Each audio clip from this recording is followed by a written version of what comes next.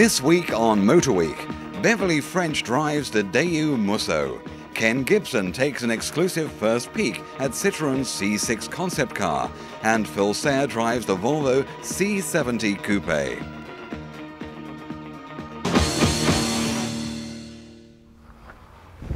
Strange looking thing, isn't it?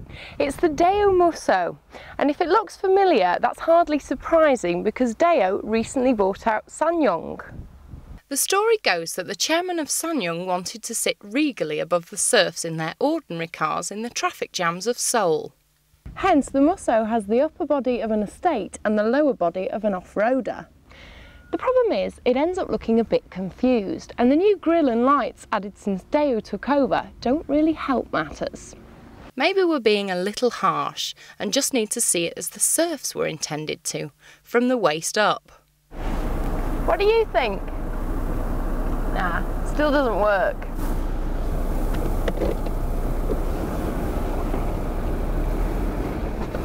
Well, the driving position feels more like an estate than a sit-up and beg off-roader. Staring ahead, you're faced with a rather large steering wheel, which still has the SsangYong logo in the middle. Now, it's only adjustable for height, which is fine, but for taller drivers like myself, you may find it a little close for comfort. Sitting behind, you've got a large binnacle with clearly seen instruments. But as for this, they look like wood on camera, but it's actually cheap, nasty plastic and it spreads all along here through to the centre console. For a car with luxury pretensions, this could do better. Sitting down here is a stereo with enough fiddly buttons to need too much thought on the move. And if that isn't enough, it's positioned so low down that you'd have to take your eyes right off the road. Back here there seems to be plenty of legroom and the passengers are actually perched higher than those in the front who sit quite low. Great visibility for those backseat drivers. The Musso is loaded with security devices and if you haven't got your wits about you it can be so secure that you can't even drive it yourself. Firstly you take this immobiliser key, put it in here not once but twice now you've got 30 seconds before it cuts you off again.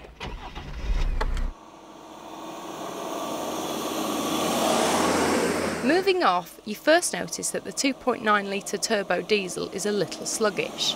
18 seconds to 60, sluggish. Which would be fine if it were refined, but it isn't. It starts off noisy and rises to a racket. The petrol versions are said to be quite quick for a 4x4, so maybe that's the way to go. That said, you should get about 30 miles to the gallon from the oil burner, compared to 23 for the 2.3 petrol. The thing I really like about it is that you get to be this high up. But saying that, give me a tractor and I'm happy. Comparing this car with my dad's Nissan Patrol, for example, it feels a little bit flimsy for a 4x4. I think the Patrol feels a very solid drive. This just doesn't quite cut the mustard. So, to the crucial supermarket run. Well, don't ask me to park this. I can't see the front corners at all. And if other lady drivers feel the same way, then Daewoo are losing potential customers. The back's a little easier with the squared off rear, but it's not ideal. In here, there's loads of room.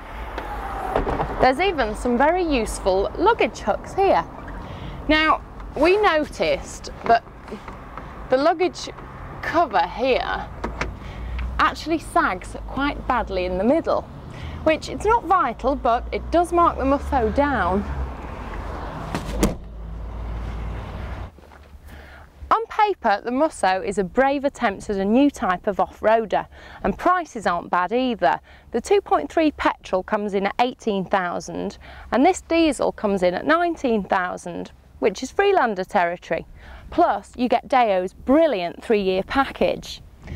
Unfortunately, detail, finish and questionable looks are what let the Musso down.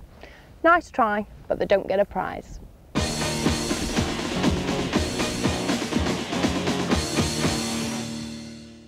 Citroen have been in the design doldrums for a little while now.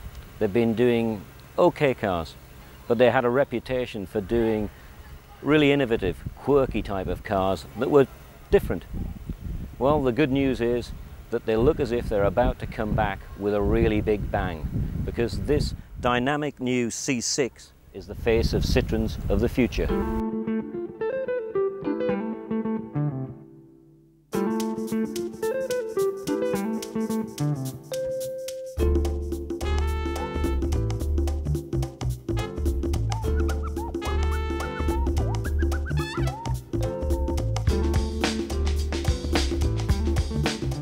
Mark Lloyd, you're the chief designer of the uh, team that developed the C6. What are its special qualities that will persuade German buyers to ditch their BMWs and Mercedes for this French car? Well, our objective was to produce a profile of volume which was very distinctive, uh, which would stand apart from the current uh, products and could not be confused as a product coming from any other manufacturer. Uh, this had to be a Citroën, it had to be perceived as a Citroën. What were the special design cues that you were looking for that would make this so much more distinctive? It's characterized by uh, its long front end, uh, the very long wheelbase, which gives us a tremendous amount of interior space, and then the short, compact rear, which contains an element of surprise, which is something that we found looking back at our heritage, looking back at our past, which is contained in products such as the DS and the SM. There's always this surprise. We were looking to capture a dynamic and fluid spirit uh, for the front of the car. A traditional grille would have been totally out of place, and so we've developed this theme based on sliding grills, sliding louvers which open up in order to allow the car to cool, and then also we've integrated the emblem, the two chevrons, into the grille to make a very strong impact. The car's character is these long flowing lines that come right to the rear of the car, the short compact rear, but then the element of surprise and drama, which is so characteristic of Citroën, is this expansive sheet metal with this negative rear screen, which suggests space for luggage. The idea for the interior was simple sophistication. Um, we feel that interiors have become very complex in automobiles, and there's going to be a big effort to simplify the interface between the driver and the machine. This is the car that Citroën hope the C6 will aspire to, the legendary DS. This car is nearly 30 years old and it looks absolutely stunning still today. It actually still looks rather futuristic. Citroën, when they did this car, were at the very, very top of the design tree. If the C6 turns out to be as successful as the legendary DS, Citroën will be more than happy. The DS was launched in 1955. It caused an overnight sensation because of its dramatic styling and its technology advances. It was a car that brought pneumatic suspension that gave the Citroën a magic carpet style ride. So, can the C6 seriously threaten the German aristocracy and their domination of the luxury car sector? I think they've got a good chance because most importantly, it's very individualistic in a typically French type of way. The Daihatsu Quor, Quor, Quor, Quor, well, however you're supposed to pronounce it, I've got to say I wasn't looking forward to driving this. Now, I don't have a problem with small cars. They're the way forwards if we're going to beat city congestion. They're often economical and frugal, so they're good for the environment as well. They're a good thing.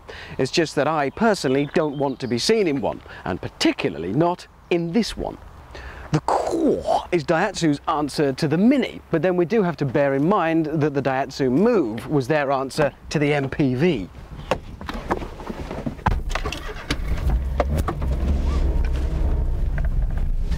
There are reasons for the rash of teeny tiny cars that have come from Japan over recent years.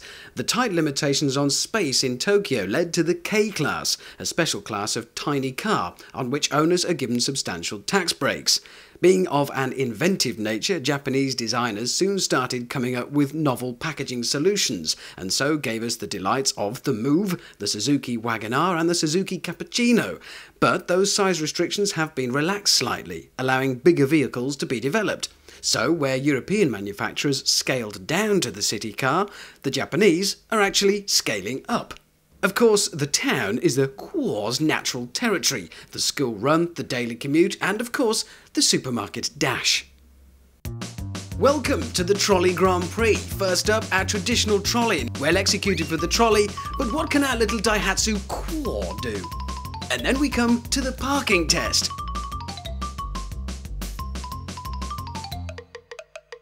No doubt about it, these compact dimensions have advantages. No parking spaces? Simply rack it up with the rest of the trolleys.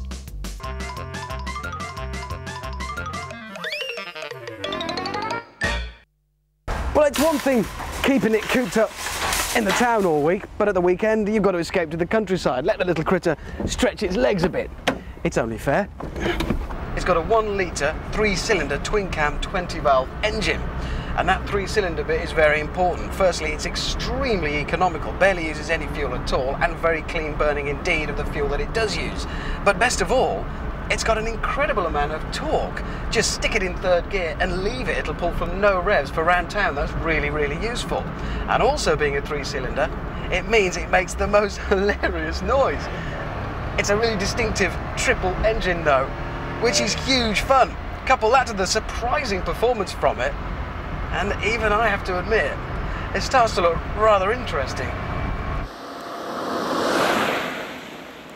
It may only be a tiny little car, but Daihatsu have placed a big emphasis on safety, so we get passenger and driver airbags as standard. ABS is available as an option, and later on, probably next year, you'll be able to get an anti-skid control. I don't know if you really need that in a car like this, but you'll be able to get it. The driving position is a little compromised, as you would expect. You do start to realise it's a budget car at that point. The seats feel, frankly, cheap and there is limited lumbar support. On the plus side, the steering wheel is in about the right place, and the gear change, a bit not cheap, but very usable and certainly doesn't ever feel muddled. Cars in the Japanese K-Class are gaining a reputation for making excellent use of internal space, and the Daihatsu Cuore is no exception. Thanks to a steeply raked windscreen and a near vertical tailgate coupled with a high roofline, there's actually plenty of room in here, headroom for passengers front and rear. Six-foot drivers may find it a little bit of a tight fit in here, though. Certainly they may find their knees knocking up against this panel here on the door that houses the controls for the windows front and rear. Looking around the cabin, the plastics used, well, may not be quite up to the standard and quality of those found in, say, an Audi, but they do look good. There's a nice finish to the material on the dashboard, and they feel pretty durable too. Bad ideas? Well, they include things like a cubby hole in the centre console with no lip, so that anything put in it immediately falls out under even the mildest of acceleration. Good ideas include a rather nifty cup holder, and actually, surprisingly, quite a nice stereo has been fitted as well.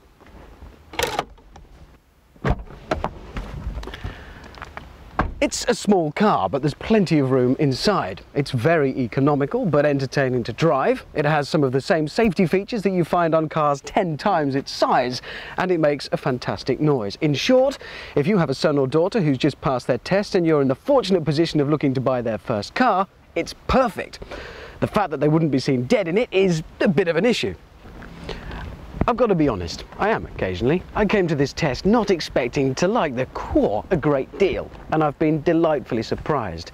Not only is it a £7,000 car that shames many a £10,000 car, but also thanks to its intelligent use of space on the inside and its characterful little three-cylinder engine, it offers 10 times the personality of pretty much any of its competitors. I hope that Daihatsu sell them by the bucket load.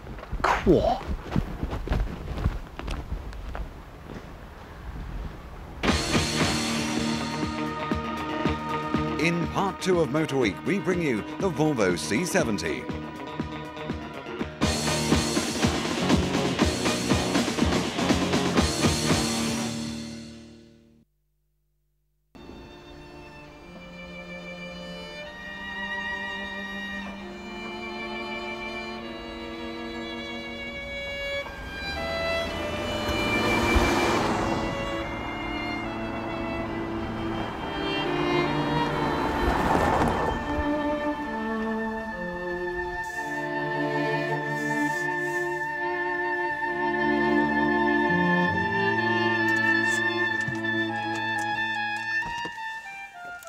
So now Volvo have built this, a sports coupe. It's called the C70. As you might guess, it's based on the 70 series saloons and estates.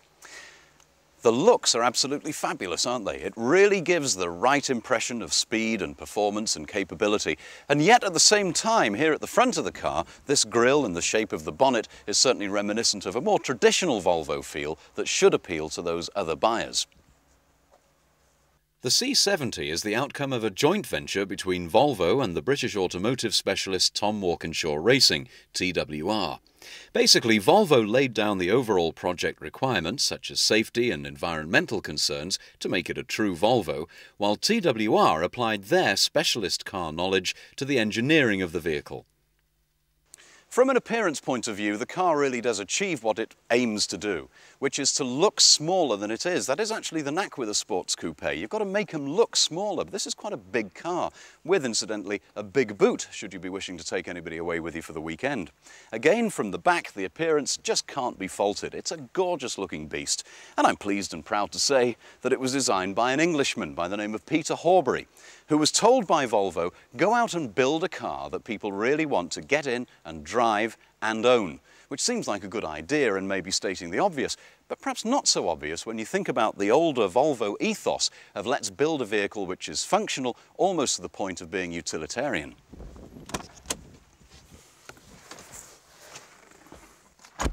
However, once you get inside, it is a different story. I really, believe me, had hoped to avoid any references to accountants in grey suits because I'm talking about a Volvo, because I think that's a cheap shot. But really they're asking for it because there is just acres and acres of grey here, almost unrelenting grey. The carpets are grey, the seats are grey, the headlining is grey, the dashboard is grey, the doors are grey, everything in here is grey. Which is a great pity. There are some little bits of walnut in here just to liven things up a little bit, but again, for a car with sporting pretensions, to me that is hopelessly out of place. Now, the dials on the dashboard, grey incidentally, are very functional, very easy to read, not so the switch gear. Not only the switches grey, but they're also a mishmash of rotary switches and rocker switches, and they're hidden down here behind the steering wheel. Whoever had that idea wants shooting. Also, if you're a smoker and you open this ashtray, you've just covered up the switches for these heated seats. Go figure. Now, the seats are glorious, probably the best in class. Par excellence. And if you pay them a little bit of extra dosh, they'll even make them full leather like these are. Okay, that's what it looks like outside and in. Now let's see what it drives like.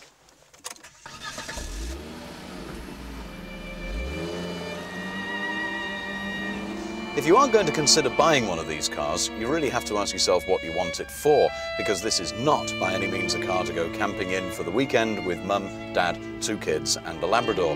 The legroom and the headroom in the back, because it's a coupe, is fairly restrictive. Okay for fairly small people, but tall people might just have a bit of a struggle. There are two chassis settings, lowered sports and normal touring. And there are three engines to choose from. They're all five-cylinder engines. The 2.4 litre produces 170 brake horsepower, which takes it from 0 to 62 miles an hour in around 8 seconds. Then there's the light pressure turbo 2.4 litre T with 193 bhp on tap, or the 2.3 litre T5. Despite being a slightly smaller capacity, it is actually a more powerful engine, offering 240 bhp, taking the car from 0 to 62 in around 7 seconds. This car is fitted with the least powerful of the three engine options. When I say least powerful, remember there's still 170 bhp under the bonnet, and that's more than enough to whistle it along in great comfort and style. And on the motorway, it's particularly quiet and peaceful in here. Round the bends on the country roads, it doesn't feel quite so comfortable, I have to say. But then this is the touring chassis. There is a lower sports chassis also available. That said, it's a beautiful car to drive, but there are one or two shortcomings that you may just feel uncomfortable with. For example, throw it too hard into a bend and the back end gets decidedly skittish. Feels to me like they need to firm up the dampers a little bit. Volvo, like most of the prestige marques, has been very generous with the range of equipment offered as standard with the C70 Coupe. This includes alloy wheels, anti-lock brakes, a pollen filter, electric and heated door mirrors, and a very powerful stereo with CD player, now you're talking, that's just perfect for pulling up at the traffic lights. Oh, and if you want even more toys to play with, the list of extras is enormous. I have a copy of it right here. The GS pack will add a sunroof, a stereo with even more bells and whistles, traction control, driver information system and heated front seats, the list goes on, and that's £1,500. Automatic gearbox, just over £1,000, electric front seats, £1,100, metallic paint, 400 quid, cup holders, £20. I could afford those. And a satellite navigation system, two and a half grand to you, Chief.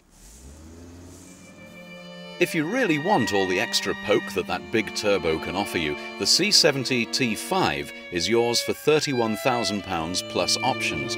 But you know, I'd say the best value is this one, the 2.4, £25,500 on the road, and frankly, more than adequate power for this chassis at 170 bhp, taking the car from 0 to 62 in 8.5 seconds. Now that's only 1.5 seconds slower than the T5, which is £5,500 more. The C70 range starts at £25,500 and it's easy to spend well over £30,000 buying one of these cars. Now that puts it up against some pretty prestigious names in the business. And I wonder what that might do to future residual values. Do people see Volvo as a sporting brand? Possibly not, unless they can remember back to the 1960s when it was a Volvo coupe that carried Roger Moore, his eyebrows and his halo through many an exciting episode of The Saint. But this car essentially is a compromise because you can buy much better performance and handling for your money and on the other hand you can buy plenty more luxury for your money. It is, if you like, a car with a grey suit but some red braces underneath when you open the jacket. Maybe that's what the C really stands for. Compromise.